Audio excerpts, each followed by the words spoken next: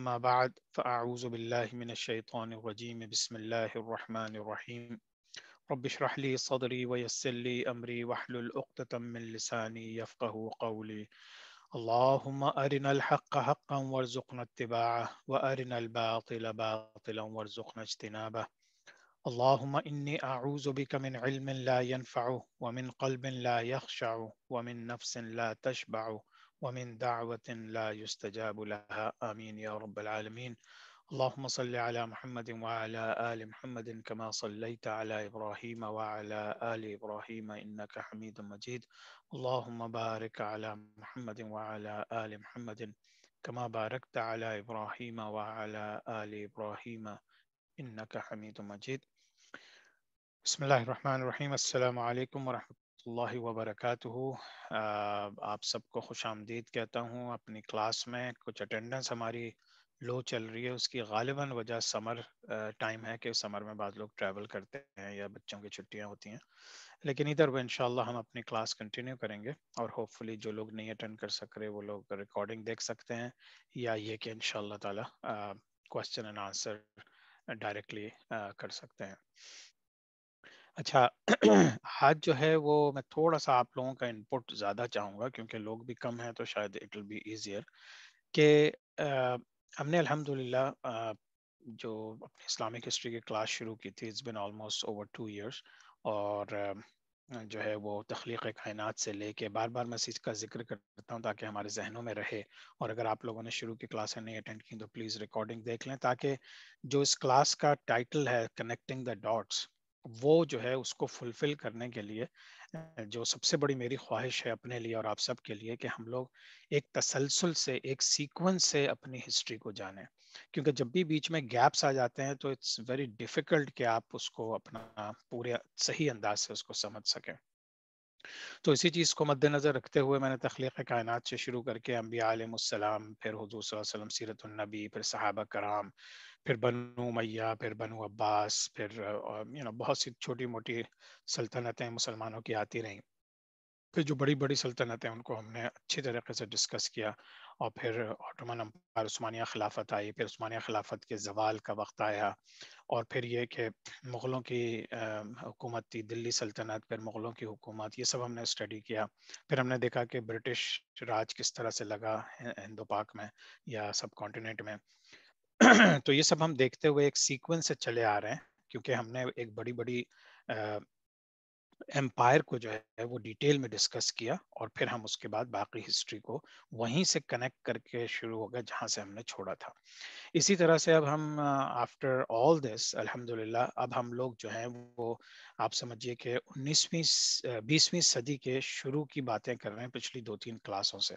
तो 20वीं सदी के शुरू से अगर आप देखें तो जो दुनिया के मेजर चेंजेस आए वर्ल्ड वॉर वन हो वर्ल्ड वॉर टू हो ये उस्मानिया खिलाफत की जो ख़ात्मा हुआ वो हो यू नो सारी चीज़ें बीसवीं सदी शुरू होने के साथ साथ शुरू हो चुकी थी तो अब बेसिकली अगर आप इसको थोड़ा सा from a bird's eye view देखें तो अभी तक तो हम बहुत सी ऐसी चीज़ों का ज़िक्र कर रहे थे कि जो तारीख़ में उनकी मुख्तलिफ़ किताबों से मुख्तलिफ़ जो है वो क्या कहते हैं डॉक्यूमेंट्रीज हों या कुछ भी हों, वो पुराने लोगों ने कलेक्ट कर, करके और आज तक लोग पुराने पीछे जाके उसको कलेक्ट करते हैं और हमें इन्फॉर्मेशन देते हैं। इस तारीख़ के ऊपर बड़ी बड़ी किताबें लिखी गई। आप मेरे पीछे देख रहे होंगे, ज़्यादातर जो तारीख़ की उर्दू में किताबें हैं अलहमदिल्ला वो वो स्टडी करने के बाद यही पता चलता है कि उन सब में थोड़े थोड़े से इख्तलाफात हैं, हर हर ऑथर ने अपने मुताबिक अपनी राय देने की कोशिश की है और फिर ये कि हम आगे बढ़े।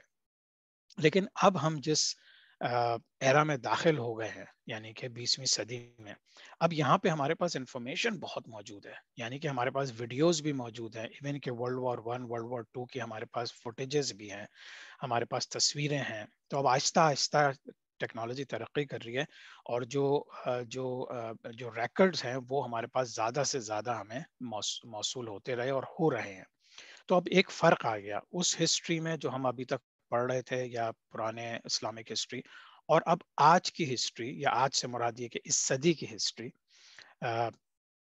जिसके अंदर अब आपके पास बहुत इन्फॉर्मेशन है। तो जैसे जैसे हम आगे बढ़ेंगे आप देखेंगे कि हमारे पास तकरीबन हर दिन की मेरे पास एक किताब है, एक इंसाइक्लोपीडिया है, जिसके अंदर 20वीं सदी के जितने भी जो है वो मेजर अखबार थे ख़ास तौर से न्यूयॉर्क टाइम्स वगैरह, उनकी हर रोज़ की खबर मौजूद है।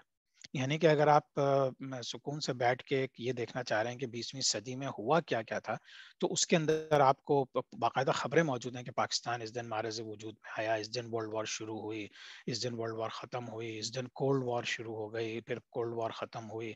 फाइनेंशियली क्या सिलसिले थे कौन सा तैयारा कहाँ गिरा, क्या, कितने यू नो वो सारी डिटेल्स आपके पास आपको मिल जाती हैं और आज डॉक्यूमेंट में मौजूद है।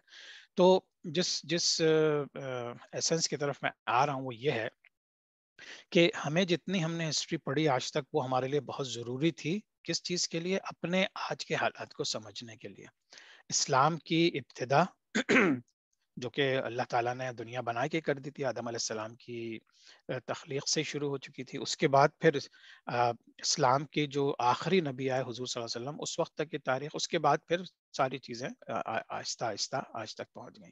तो अगेन कनेक्टिंग द डॉट्स पहले दिन से आप अपने आप को कनेक्ट कीजिए और अगर आपको कहीं भी एक गैप नज़र आ रहा है ना तो please go back and revisit that era या मुझे बात मुझसे बात कर लीजिए कोई क्लास है रिकॉर्डिंग दोबारा देख लीजिए।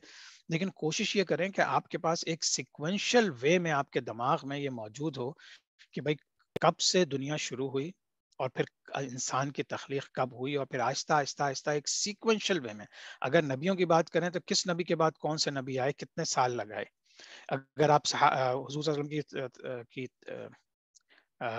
सीरत तैयबा की बात करें तो आपको पता हो कि मक्के में, मक्के मुकरमा में कब तक थे, मदीना में कब थे, वही कब आई हज़रत कब हुई, हज कब हुआ। तो इन सबको भी सिक्वेंशियल वे में। इसी तरह से अब जो बड़ी हुकूमतें आई, फिर वो सारे सिक्वेंशियल वे में। तो जब आपको एक एक करके चीज़ें याद होंगी तो इन ताला उसका फ़ायदा क्या होगा? आज आप जो माशाल्लाह लाइव क्लास अटेंड कर रहे हैं, इसका मतलब आप माशाल्लाह अल्लाह ताला ने आपको ज़िंदगी दी, अकल दी, समझ दी। तो हम आज के हालात को जब तक तारीख के तनाजुर में नहीं देखेंगे, हमें आज के हालात, आज जो इस वक्त पाकिस्तान में, इंडिया में या दुनिया में हो रहा है, उस चीज़ को आप समझ आज जो इसराइल में हो रहा है, फलस्तीन में हो रहा है, आज जो कश्मीर में हो रहा है, आज जो हमने अभी युगोस्लाविया बोजनिया इन सब आपकी जो एथनिक क्लेंजिंग हुई है, इन सबको अंडरस्टैंड करने के लिए आपके पास एक बहुत अच्छे तरीके से पुरानी यादें मौजूद होनी चाहिए, और वो यादें आपको हिस्ट्री की शक्ल में मिलती हैं। तो बहरहाल ये मैं तमहीद इसलिए बांधना चाह रहा, बांधना चाह रहा था कि अब हम लोग एक ऐसे एरा में दाखिल हो गए कि अब आप थोड़ा सा कंसंट्रेशन भी ज़्यादा ज़रूरी है, लेकिन अब आप लोगों का फीडबैक और आप लोगों का डिस्कशन भी बहुत ज़रूरी है। मैं तो एक जितना भी थोड़ा बहुत पढ़ लिख सकता हूँ करके आप लोगों के लिए स्लाइड्स बना के और इन्फॉर्मेशन जमा करके बेसिकली आपके सामने लाता हूँ और लेकिन अब हमारी डिस्कशन की बहुत ज़रूरत है। तो इनशाला please try your best to be part of these discussions क्योंकि हो सकता है, बल्कि यकीनन होगा कि आपके पास बहुत सी दूसरी इन्फॉर्मेशन मौजूद होगी। फिर हम क्या करेंगे कि हम फिर इन ताला अपनी इसी क्लास में हम थोड़ा सा रिसर्च एंड डेवलपमेंट की तरफ़ भी जा सकते हैं कि भाई ये, ये फला वाक़ है इसके ऊपर पाँच दस बीस राय मौजूद हैं तो, तो हमारा जो ऑडियंस है आज जो हमारी क्लास में मौजूद है हम लोग क्या सोचते हैं उसके बारे में? ठीक है? तो ये दिस इज़ uh, मतलब इंटरेक्टिव कस्म की क्लास अब बहुत बेहतर होगी जिसका मुझे भी फ़ायदा होगा और आप सबको भी फ़ायदा होगा। अच्छा तो अब देखिए हमने बिगिन ऑफ़ ट्वेंटी सेंचुरी में हमने अपनी तकरीबन पिछले से पिछली क्लास में हमने 1900 से लेके 1918 तक का ज़िक्र किया था। और उसमें फिर उसी दौरान जो है वर्ल्ड वॉर वन भी आ गई थी। ठीक है? अब आप अब आप थोड़ा सा अगर जहन अपना दौड़ाएँ। आज सिर्फ़ आपको रिव्यू कर रहा हूँ आज मैं ताकि आप लोगों के पास थोड़ी इन्फॉर्मेशन उस लिहाज से बेहतर हो जाए। जो आज इतना बड़ा मसला इसराइल फ़लस्तीन का बना हुआ है ये जाइनिस्ट मूवमेंट कब शुरू हुई? ये भी बीसवीं सदी के शुरू में हुई उन्नीस सौ गालिबन पाँच में या इसमें ये, ये बनी थी। इसी के इसी तरह से जो है आपके वर्ल्ड वॉर वन उन्नीस सौ चौदह में शुरू हुई पूरी दुनिया का नक्शा बदल गया। पूरी दुनिया जो है वो, जो बॉर्डर लाइंस थी वो चेंज हो गई और एक नए अंदाज से आपको दुनिया नज़र आई। इससे थोड़ा सा पीछे चले जाए 1800 में और 1700 में आपको टोटल कॉलोनाइजेशन और इंपीरियलिज्म नज़र आता है, जिसकी बेसिस पे ये दुनिया के नक्शे बदले। क्योंकि वर्ल्ड वॉर में तो बेसिकली जो बड़ी बड़ी ताकतें होती हैं, वही आके भिड़ती है ना एक दूसरे से तो उनके कुछ मकसद होते हैं कि भाई उन्होंने इतने इतने दिनों सौ, दो सौ साल किसी मुल्क के ऊपर कब्जा रखा या किसी दूसरे मुल्क ने कब्जा करके रखा और उसके सारे रिसोर्सेज निकाल के वापस यूरोप में या नॉर्थ अमेरिका में ले गए तो फिर उसकी वजह से एक जो गैप पैदा हुआ, उसमें फिर आपका एक केओस पैदा हुआ। जब गैप पैदा होता है, जब फाइनेंशियली लोग महरूम होते हैं तो केओस पैदा होता है। उस केओस में जो है फिर वर्ल्ड वॉर वन हो गई। वर्ल्ड वॉर वन में बहुत तबाहियाँ हुई। फिर हमने देखा कि थोड़ा सा सुकून हुआ, लेकिन फिर जो है तो कुछ तकरीबन 10-20 साल के बाद ही जो है पच्चीस साल के बाद वर्ल्ड वॉर टू हो गई।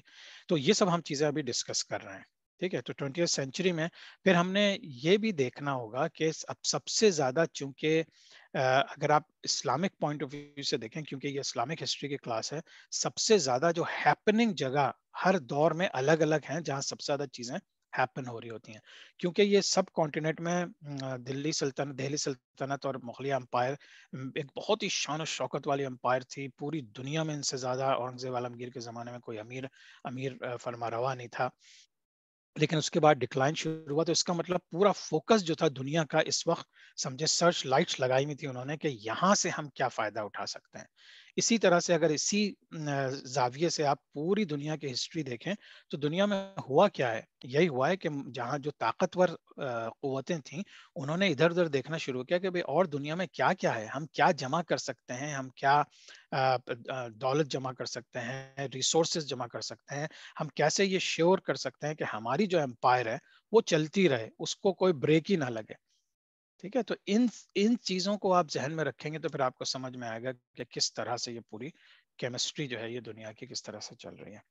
अच्छा 1940 से 1947 तक अब देखें ये तो खैर वर्ल्ड वॉर वन का नक्शा है आप लोग देख चुके हैं इसको।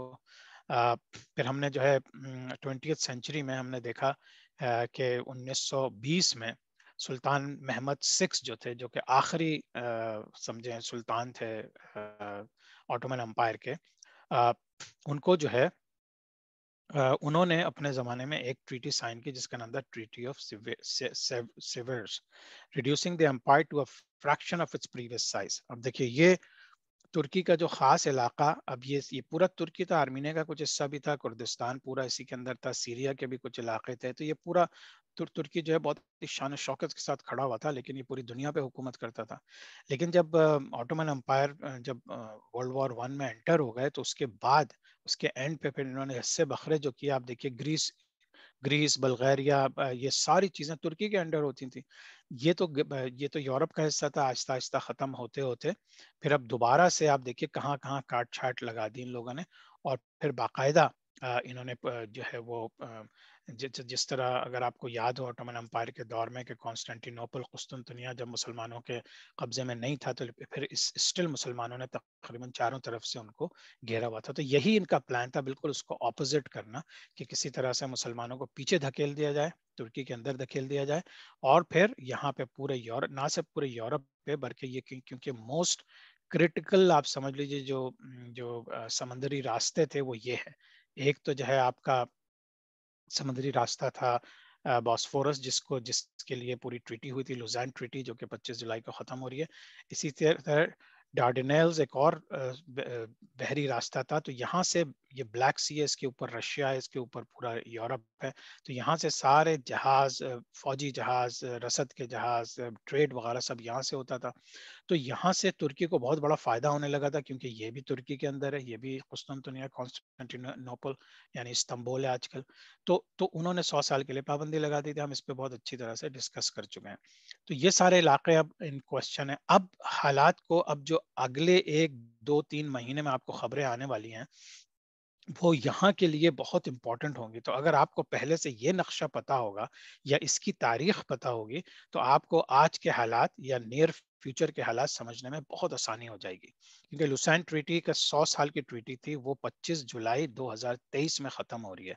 यानी तकरीबन आप सोच लीजिए, आज 16 जुलाई है तो ऑलमोस्ट ऑलमोस्ट नौ दिन के बाद ये ट्रीटी खत्म हो रही थी, उसके बाद क्या होता है, अर्दगान क्या स्टेप्स लेते हैं और फिर क्या? तो बहरहाल ये तो अब हालात हाजरा की कुछ चीज़ें हो गई। तो ये एक आप लोगों को कनेक्ट करना चाह रहा था कि पीछे से हम जो सारी चीज़ों को जब हम कनेक्ट कर लें फिर एक दो चीज़ों पे और आज मैं उसको जो है हाईलाइट करूँगा और उसके बाद फिर इंशाल्लाह फिर हम ज़रा डिस्कस करेंगे कि आप लोगों ने अगर बीसवीं सदी में कोई चीज़ गैप नज़र आ रही तो प्लीज़ मुझे बताइए ताकि हम हम दोनों मिल के उस गैप को फिल करें और सही जो हकीकत है जो जो ट्रू इन्फॉर्मेशन है उसको लेके फिर इंशाल्लाह ताला आगे बढ़े। अब देखिए अब हमने यहाँ पे सब कॉन्टिनेंट में और यहाँ पे तो चीज़ें डिस्कस कर रहे हैं और अभी इसमें बहुत कुछ आएगा, क्योंकि अब फोकस अभी यहीं पर है। अभी यहाँ पे ब्रिटिश जो है वो छोड़ के जाएँगे 1947 में तो इंडिया पाकिस्तान जन्म लेंगे, फिर उसके बाद उसकी पूरी हिस्ट्री होगी। लेकिन इन द मेन टाइम अब आप देखिए कि वहाँ पे क्या हो रहा है। अरेबियन पेनसुला में। अब आपको शरीफ ऑफ़ मक्का का अगर याद हो कि शरीफ ऑफ़ मक्का जो है, इन्हीं लोगों को ब्रिटिश ने आगे बढ़ा के बाकायदा जॉर्डन का और जो है अपने आपको मतलब सऊदी अरब का तो फॉर श्योर है, लेकिन इराक का, जॉर्डन का और इन तमाम जगहों के जो फरमा रवा बनाए, वो शरीफ ऑफ़ मक्का थे। शरीफ ऑफ़ मक्का कौन है? इसको भी हम आज थोड़ा सा देख लेंगे। लेकिन पहले मैं आपको ये एक विकीपीडिया पे एक साइट है, ये मैं आपको दिखाना चाहता हूँ। कि ये देखिए, ये जो है, अब्दुल्ला वन ऑफ़ जॉर्डन है। अच्छा जॉर्डन जो है वो ब्रिटिश प्रोटेक्ट प्रोटेक्टोरेट में था तो यानी कि जॉर्डन का एक हिस्सा टोटल ब्रिटिश के अंडर था, बाकी थोड़ा सा हिस्सा आज़ाद होना शुरू हुआ था। लेकिन ये उस वक्त की बात है कि जब ट्रांस जॉर्डन जिसे कहते हैं ट्रांस जॉर्डन में तो अब ये ये ये इनका ताल्लुक किससे था? हाशमी कबीले से। हाशमी कबीला कौन है? जो हजूर वसल्लम का कबीला है। और वहाँ से जो उसके डिसेंडेंट्स चले हैं, वो कहाँ तक पहुँचे हैं? ये सारी चीज़ें आप लोगों के पास हैं, आप लोग विकीपीडिया पे जाइए और सर्च कर सकते हैं। लेकिन मैं आप लोगों को इसमें एक जो खास चीज़ दिखाना चाह रहा हूँ, ये आपको बहुत सी तस्वीरें मिलेंगी उस ज़माने की। लेकिन एक चीज़ जो ख़ास जो हमारे जहनों में बाज़ लोगों को श्योर नहीं है तो मैं बताना चाह रहा हूँ कि देखिए, ये हाशमी कबीला है, ठीक है? हाशमी कबीले के बाद हज़रत अब्दुल मुत्तलिब उसी कबीले से थे, फिर हमने देखा हुजूर सल्लल्लाहु अलैहि वसल्लम उसी कबीले से आए, फिर चीज़ें आगे चली, जब जब हज़रत अली रज़ी अल्लाह अन्हो, जो हज़रत अबू तालिब के बेटे थे, उनकी शादी हुई हज़रत फातिमा रज़ी अल्लाह ताला से, जो हुजूर वसल्लम की बेटी थी। तो अब ये जो हाल रसूल का सिलसिला शुरू होता है, जो हम हर जगह सुनते हैं, वो यहीं से है सिलसिला कि हज़रत इमाम हज़रत इमाम हसन और हज़रत इमाम हुसैन। इमाम हुसैन रज़ी तला की तरफ़ से जो सिलसिले शुरू हुए, वो हम जानते हैं कि जिनमें अहल तशी के मुताबिक वो जो बारह इमाम है, वो वहीं से आए, हज़रत हुसैन रज़ी अल्लाह की आल औलाद से आए। लेकिन हज़रत हसन रज़ी अल्लाह की आल औलाद से फिर जो सिलसिला चला, वहीं से ये बहुत लॉन्ग सिलसिला चलते चलते और ये फिर पहुँचा कहाँ तक? ये पहुँचा जे शरीफ ऑफ़ मक्का जो थे, ये किंग ऑफ़ हिजाज बना दिए गए थे।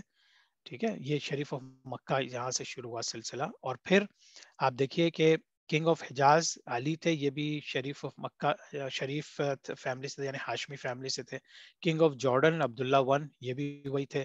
Faisal one, king of Syria of Iraq, king sorry, Syria, king of Iraq तो इस तरह से ये सारी चीज़ें भी वहीं से थी। तो ये चलते चलते फिर हम देख लेते हैं कि ये अभी तक जो तलाल हुसैन, अब्दुल्ला हुसैन, ये सारे जितने आपको नज़र आ रहे हैं सब हाशमी कबीले के हैं और हाशमी कबीला कहाँ से जाके मिलता है?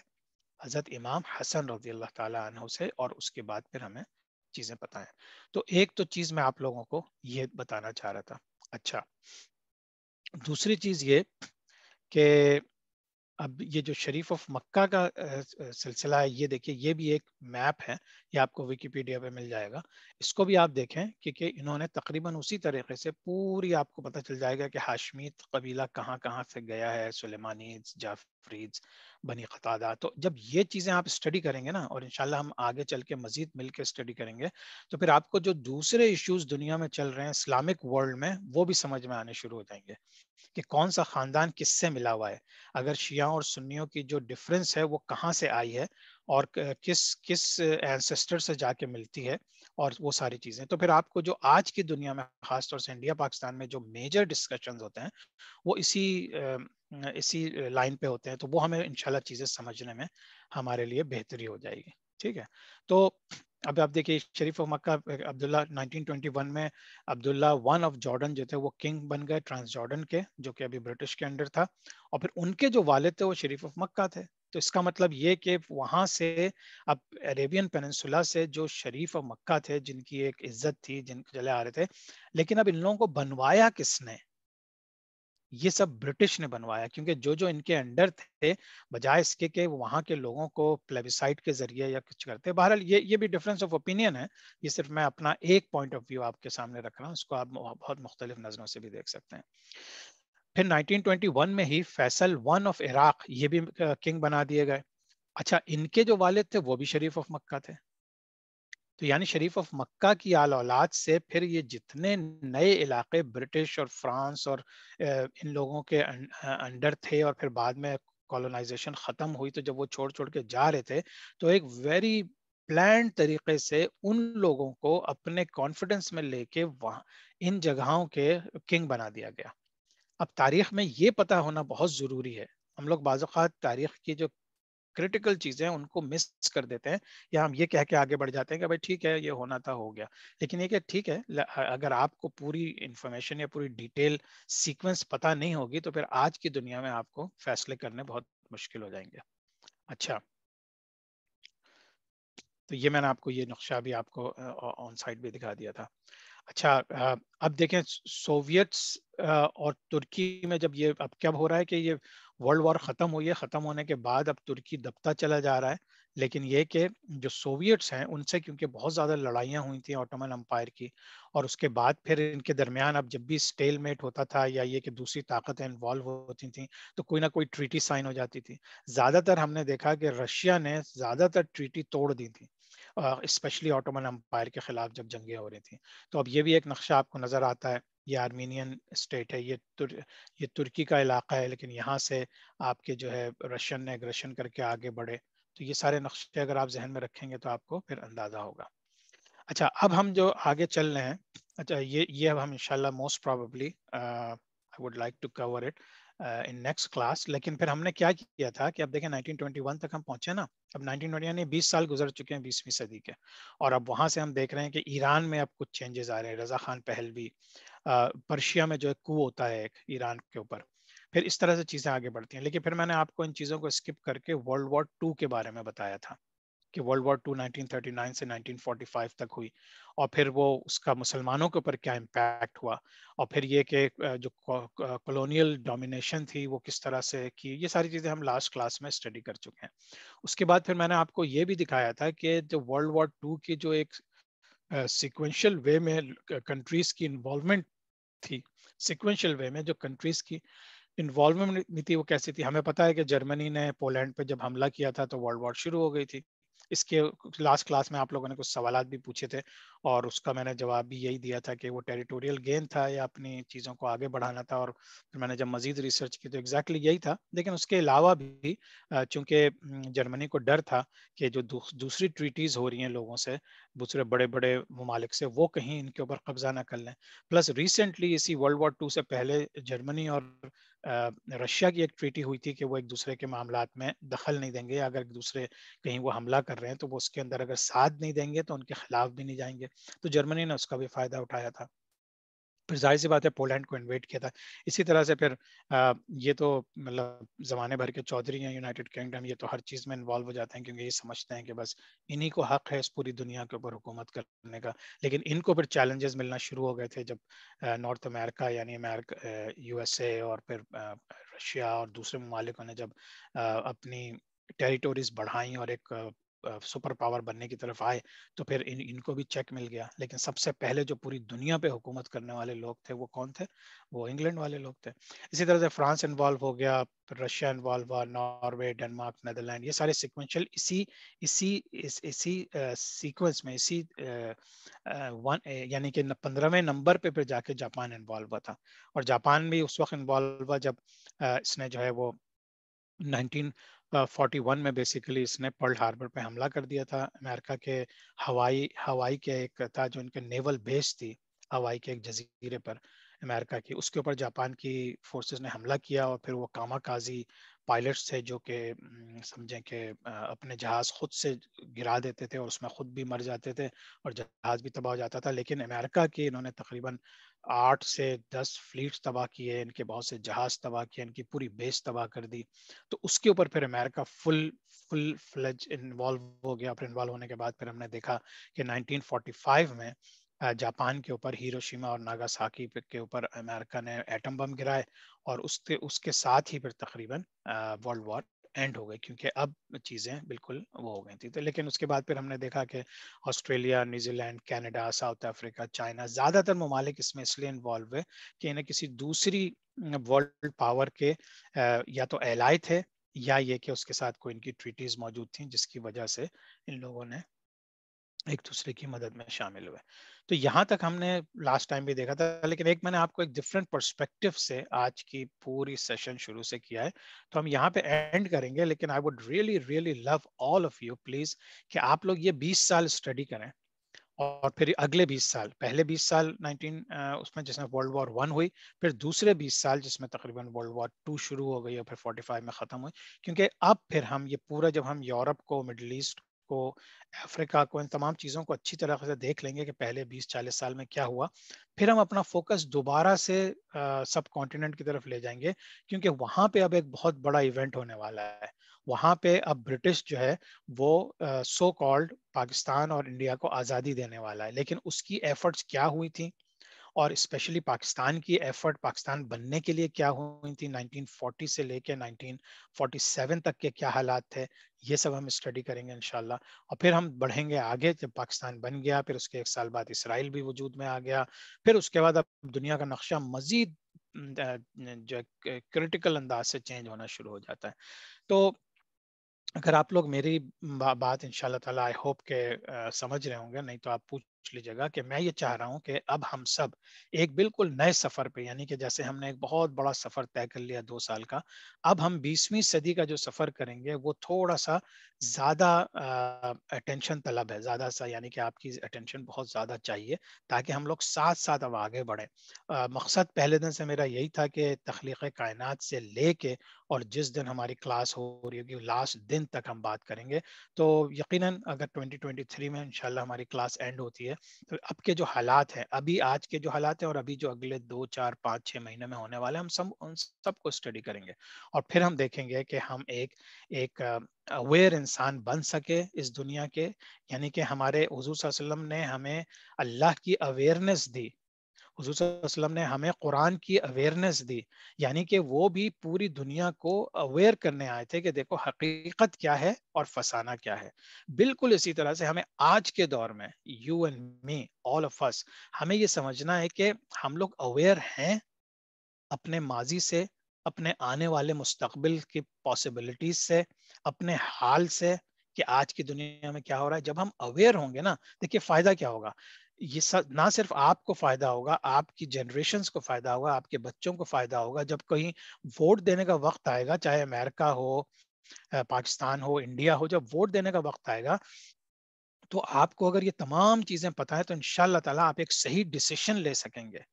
एक अवेयर इंसान जो होता है ना, एक समझदार, अक्लमंद एजुकेटेड इंसान जो होता है ना, वो क्यों मुख्तलिफ़ होता है किसी ऐसे आदमी से कि जिस बेचारे के पास कोई नॉलेज ना हो या अवेयरनेस ना हो? इस वजह से कि वो हालात को देखने के बाद जो बेस्ट पॉसिबल आउटकम हो सकता है, उसको अचीव करने के लिए फिर अपना अपना वोट इस्तेमाल करता है या अपना राइट इस्तेमाल करता है या अपनी आवाज़ इस्तेमाल करता है।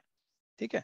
तो आई होप कि इंशाल्लाह I am able to convey the message ठीक है तो आज के लिए इतना इंशाल्लाह हम सवाल जवाब ले लेंगे, लेकिन आज प्लीज़ आई होप के you guys all have good questions मतलब there is no bad question by the way by good question I mean कि आप सबके पास बहुत ज़्यादा सवाल होंगे। और ज़रूरी नहीं है कि, क्योंकि I am not an expert on anything आप प्रोबेबली आप में से जो लोग हैं, मुझसे कहीं ज़्यादा जानते हैं। आप लोगों की इस्लामी knowledge world knowledge history knowledge सब मुझसे बेहतर होगी।